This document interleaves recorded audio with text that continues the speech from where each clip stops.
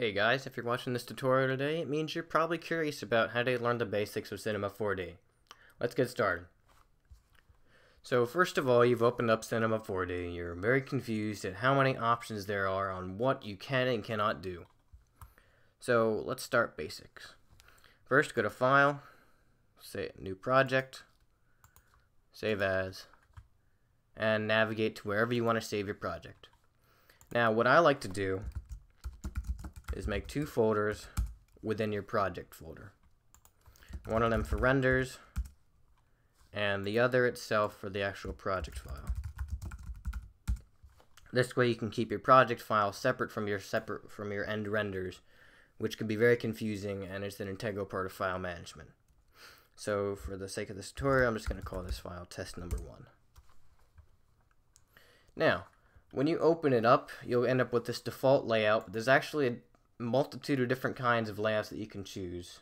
There's animation, which is concerning itself mostly with keyframing. There's BP 3D Paint, which is for intense texture designing, and that goes to BV, BP UV Edit as well. Modeling and sculpting are both for intense polygonal work, which is for designing specific shapes. Let's say you want to turn a circle into an even something as simple as an oval, because this does not come with an oval built in. Um, and there's also Visualize, which is practically similar and pretty much the same as Startup. So for the sake of this tutorial, I'm just going to stick with Startup. Now you've got your about eight basic tabs here that you can use. And then you've got about 10 more or so with more complicated things in them. So for the sake of this tutorial, again, I'm going to stick with the basics. You have your shapes under this little cube thing right here. You've got cubes, cones, cylinders, spheres, landscapes, which are really cool, and platonics, which you can change the shape of. So let's just stick with the cube. You've got, y'all, but you've also got splines, which I can explain, which I'll explain in a later tutorial. You've got your spline effects, which is just NURBS. You've got all, a whole bunch of complicated things.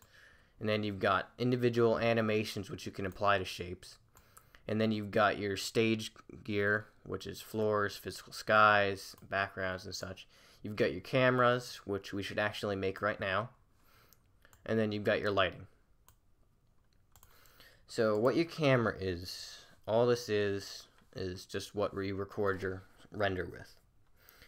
How to move this around, or anything actually, is when you click 1, it's just a pan, simple pan.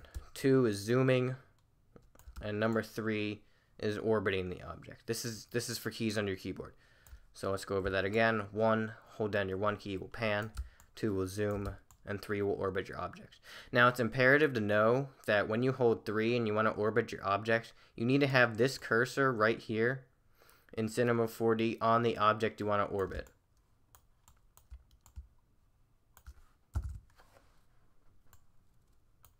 There's also secondary controls up here, which are I tend to use more often, but it's probably easier to use the keyboard. And then you have your more intense controls, which you can view from the individual axes, uh, axes, axi.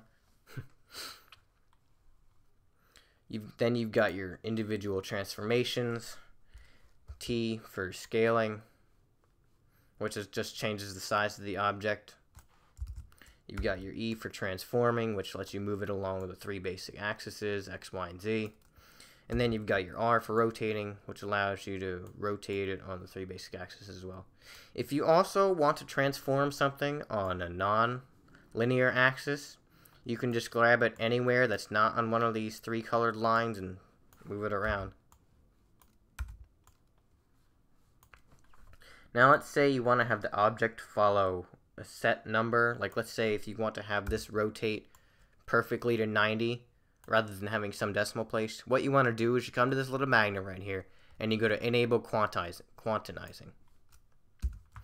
And what this allows you to do is it moves objects in increments of 10s, it rotates in increments of 10s, and it scales up and scales down in increments of 10, which I tend to use a lot. There's also tertiary controls for that as well within the object itself. So you click the object here, and you've got four tabs here. You don't need to concern yourself with Phong at the moment. That's some complicated stuff there. But you've got your basic tab, which is your name.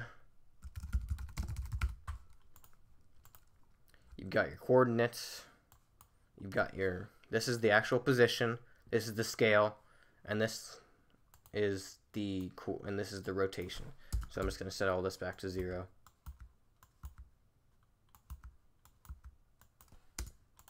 And then you've got the object in depth, which is the size, and I'll just set all these to 400.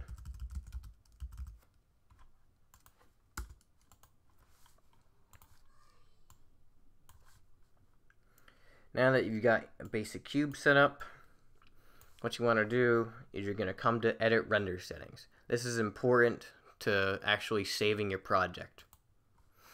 So the normal definition I use is 1280 by 720 pixels.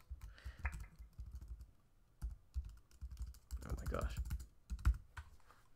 And you can change centimeters, millimeters, inches, but stick with pixels. It's a lot easier.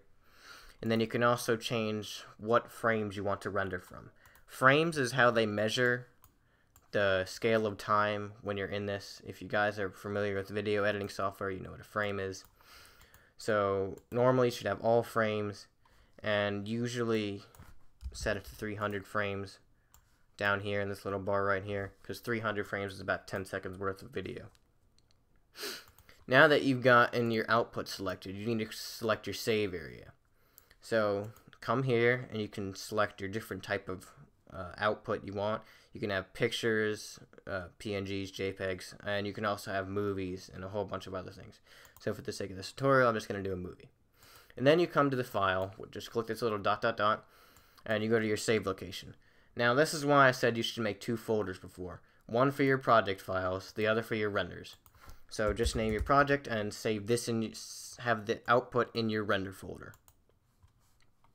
And now that we're done with that, we don't need to worry about it anymore. Oh, one more thing. These three options, you don't need to concern yourself with any of that yet, except anti-aliasing. Make sure you turn that to none, because anti-aliasing adds a lot of render time. Now you've got two options right here. One of this, one of these is a quick render view, which just renders this little area you have in here. And then you've got a render to picture viewer. This is more CPU intensive than an, another option, which I'm going to show you in a bit. But for now, we'll just have this little cube here. So you've got your camera ready, and what you do is you click this little icon next to this. And what this does is, this is your camera for the project. This is how it renders. This is the camera it views the project from. So now that we've got our camera activated, we'll go over keyframing. Normally, what I like to do is I go into my normal view outside of my camera when I turn on keyframing so that I don't accidentally move the camera to some place I don't want it to. Now there's two options for keyframing down here. You've got you've got an active keyframing selection which records a keyframe for that specific frame and then you've got auto keyframing which I normally just have on. So at frame 0 I'm going to have my camera start out here and at frame 100, I want it to end up 1,000 centimeters further back. I can also change the transformations in my cube within with keyframing. So at frame 0, it's 400 centimeters by 400 by 400. I can change its position with keyframing. So at it's at the coordinates right now are 0, 0, 0. Let's say at 100 I want it to move 300 centimeters this way. What it'll do is it'll move 300 centimeters this way at keyframe 100.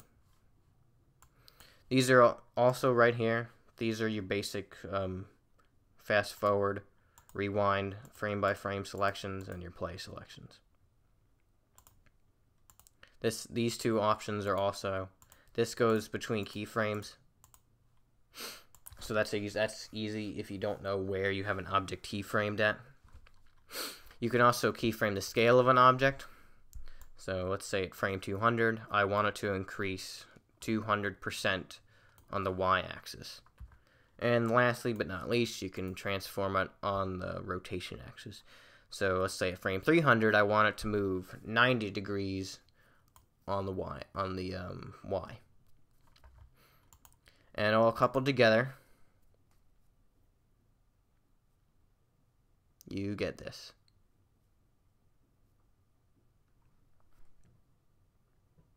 Normally, what I like to do is before I touch, even activate this camera, I turn off keyframing as a failsafe, and then I turn on the camera and view it.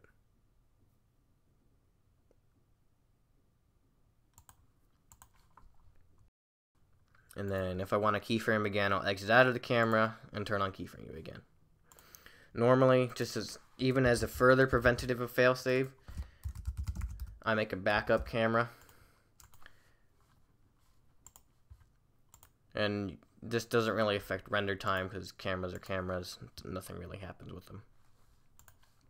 So let's talk about floors and skies and and foregrounds and backgrounds. Floors are the easiest things to add. What it does is it just provides a floor. For, and uh, another thing is quick render view.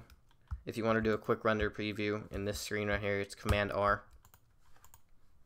And it may look like this little plane right here is finite, but it actually extends into infinity on both the X and Z axis, as you can see here. And there's also a background. There's also skies and physical skies, which I'll discuss in a later video. Now let's talk about lighting. There's many different types of lights. There's natural sunlight, there's infinite light, which essentially generates light without regards to any physical object in the scene. So if I have an infinite light on, it'll render it whether there's a wall there or not. This is also the same with an area light. However, a spotlight and a regular light cohere to actual planes within this within the scene. So you can see that I have the light over here projecting the light this way along the axis. You can see that it hits off the object like this. The other light works with the same basic principle. So for the sake of this tutorial, I'll just leave this light on. So now let's talk about materials. So there's many ways you can make materials. You can load in a preset, which are basics. There's shaders that are basics too, which are just different types of materials. And then you can load in materials from outside your computer, from like the internet, or if some guy has a material packet posted on the internet, you can get from there. So let's just make a new material and double click it to open up the material editor. You can load in textures from outside so if I want to load an image in, like let's say if I want to have my cat be on the cube, I'll load my cat. I can also add colors. I can add a thing called a Fresnel, which is essentially like a sideways gradient. And there's also noise, which you guys know is just static. And there's tons and tons of different types of things you can add to this. So let's just clear that for now and stick with basic colors. Now, if you double click this, you can change the actual color of this. There's, if you guys know anything about changing colors, you can change the RGB scale of all of this. So I'll just make this one red for now. Mm, no, I'll make it yellow. And then there's a whole multitude of things that you can apply to this. Now you see that specular, specular is automatically turned on. What this does is it gives like a weighty feel to the object. It gives the object sort of a graininess to it. You can change it from like a plasticky look to a metal look to a colored look.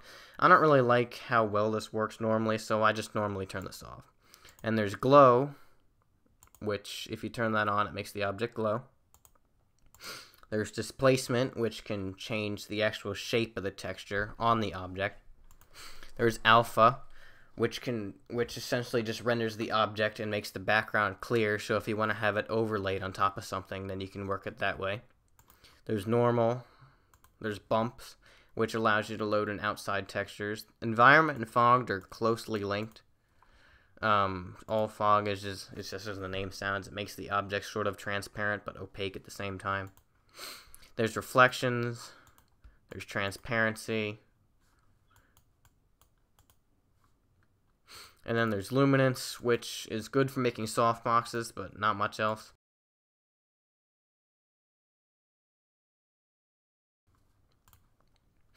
But that's all we're really going to need to concern ourselves with for now, so let's just exit out of the material editor, and you've got our first material.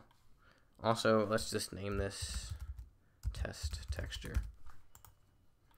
And there's actually a couple different ways of getting the texture onto the object, but the simplest one is just dragging it on and dropping it, and that applies to the next thing right there.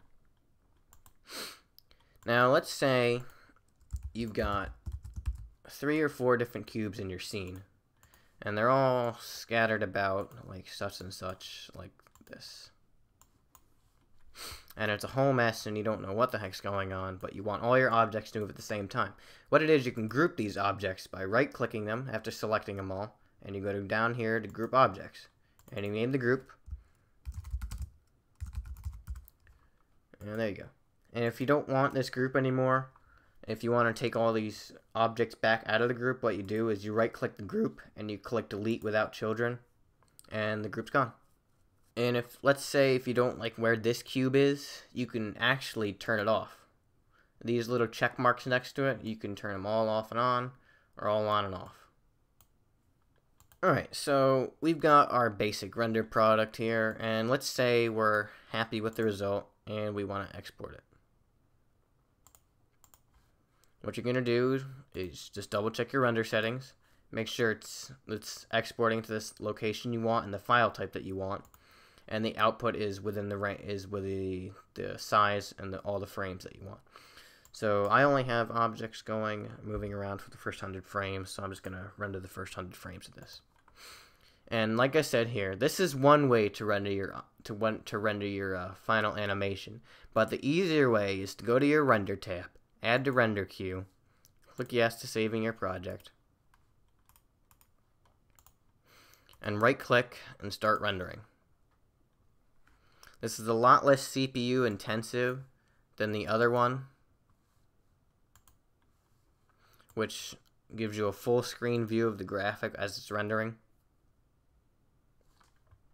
And I'll just wait for this to finish rendering real quick. And then we can watch the final product. Normally, if you have more objects in the scene, or if the texture is more elaborate, it takes longer to render. So we'll navigate to the project, go to my renders folder, and watch the video. And there we go.